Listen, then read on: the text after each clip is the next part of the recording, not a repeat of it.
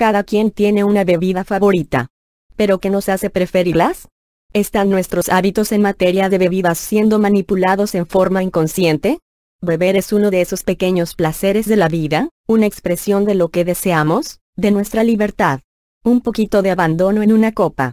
Claramente valoramos nuestro derecho a beber algo que nos gusta. Es la razón por la que la ley seca fracasó en forma espectacular en Estados Unidos. Pero me he enterado de algo que podría quedarse atorado en nuestras gargantas colectivas, las bebidas que elegimos generalmente no son, de hecho, de nuestra elección. Aún peor, a veces somos manipulados constante e inconscientemente para que bebamos algo que otro quiere que bebamos. Estas no son habladurías de borracho, es una conclusión que se ha estado destilando en un número de fríos y sobrios estudios científicos sobre lo que influye sobre nuestro comportamiento en materia de bebidas. Paleta de colores Tales estudios muestran que nuestras decisiones son influenciadas en forma subconsciente por todo, desde el color de una bebida, hasta su nombre, el precio y el ambiente del bar en que la consumimos. Incluso la forma del vaso en que la cerveza o el vino son servidos influye en la velocidad con que bebemos y la industria del alcohol juega con estos factores. Al hacerlo, juega con nosotros, dejándonos mareados en el proceso. A primera vista, es difícil entender cómo puede deslumbrarnos el color de una bebida. La ginebra es transparente, la cerveza es color ámbar, el vino tinto es rojo. La evidencia está a la vista. Pero el color de una bebida afecta la percepción que tenemos sobre su capacidad para aplacar la sed, según un estudio publicado en la revista especializada Food Quality and Preference Journal. Y esto, a la vez, puede cambiar según el vaso en que la contiene. Para probarlo, los investigadores sirvieron bebidas en vasos de distintos colores. Cuando se pidió a un grupo de sujetos que escogieran su preferido, un número significativo optó por vasos azules o verdes.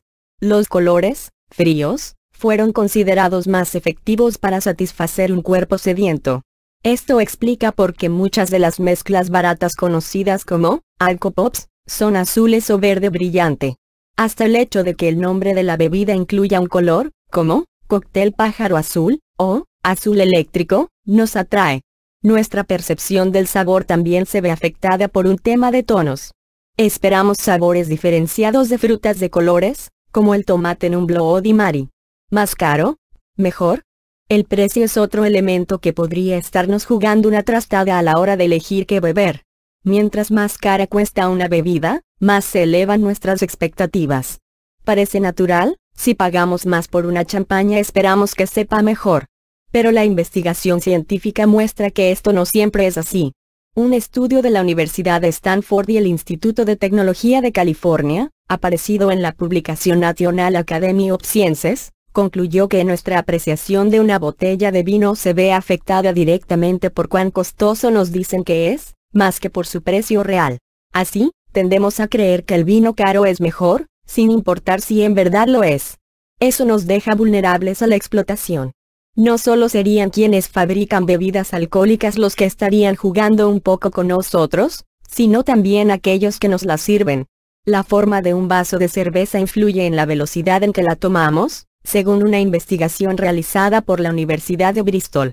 Un vaso curvado dificulta percibir cuánto líquido queda adentro, así como darse cuenta de cuándo se ha tomado más de la mitad. En consecuencia, bebemos más rápido. Otro estudio encontró que los vasos cortos y anchos producían un efecto similar. Con estos es más difícil juzgar el volumen, así que servimos más en ellos que cuando usamos copas delgadas y altas. Del mismo modo, complica controlar el ritmo de bebida. De hecho, hace que uno se pregunte quién está marcando ese ritmo, si uno o quien fabricó o sirvió el vaso. También bebemos lo que oímos pero los manejos de nuestro amigo el barman no terminan allí. Algunos locales lucen descuidados, apenas un montón de mesas y sillas desperdigadas anárquicamente, y nos encantan por su carácter. Otros responden a un diseño cuidadoso, con paredes pintadas de cierta manera, videos y música. Suele no tratarse de una casualidad, porque el ambiente de los sitios donde bebemos se afecta cómo bebemos. Dueños y diseñadores lo saben. Un estudio publicado en la revista For Quality and Preference mostró que tocar música latina impulsa inconscientemente a la gente a escoger bebidas que, suenan, latinas, como piña colada, margarita o cerveza. Los bares que parecen fríos, por ejemplo, gracias a un video de un iceberg proyectado en la pared o a muebles azules, nos hacen optar por bebidas calientes, como café, té o chocolate. Prácticamente no hay escape. Beber en casa, lejos de estas influencias ubicuas y penetrantes, implica ir al supermercado o licorería por nuestra bebida favorita. Los dueños de las tiendas colocan el alcohol estratégicamente en las estanterías para llamar nuestra atención y limitar nuestras opciones. Se ha convertido algo común la venta de vino junto a comidas de microondas o en los refrigeradores de comidas listas para llevar, dice una organización británica dedicada a enfermedades del hígado, British Liver Trust, en un informe sobre alcohol. Esto envía un mensaje subliminal al trabajador ocupado o al comprador en el sentido de que podría y que de hecho es normal consumir alcohol con la comida.